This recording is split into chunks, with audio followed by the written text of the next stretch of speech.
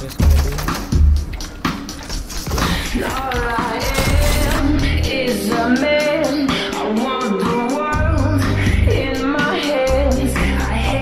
beach, but I stand in California with my toes in the sand.